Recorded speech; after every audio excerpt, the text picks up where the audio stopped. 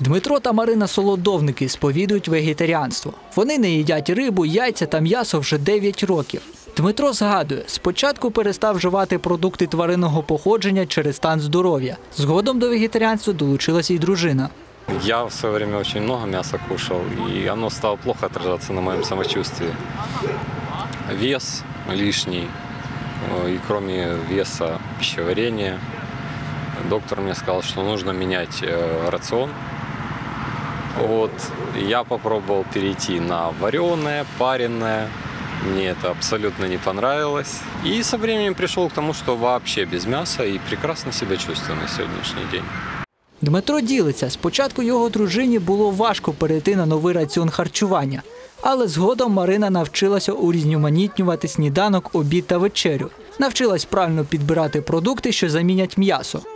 Для меня это было неожиданно, и как вот он выше сказал, что пришлось как-то выдумывать, искать новые рецепты, новые блюда. А Я какое-то время разбиралась, то есть меня он не заставлял к его диете примкнуть. И я просто разбиралась около полугода, смотрела, читала и стала потихонечку уменьшать количество. У меня очень сильно наладилось здоровье. Подружжя зізнається, вегетаріанські продукти відчутно б'ють по сімейному бюджету, особливо взимку, коли треба купувати несезонні фрукти та овочі.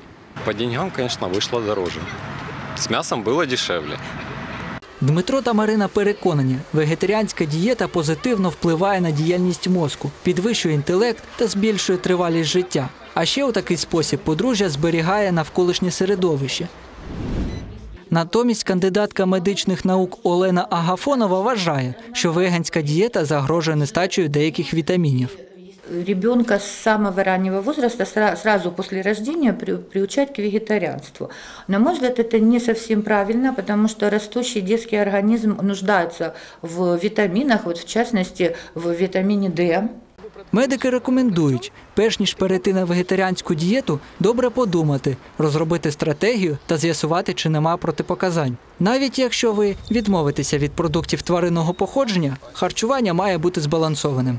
Микита Доброславський, Юрій Краснощок, Open News, телеканал відкритий.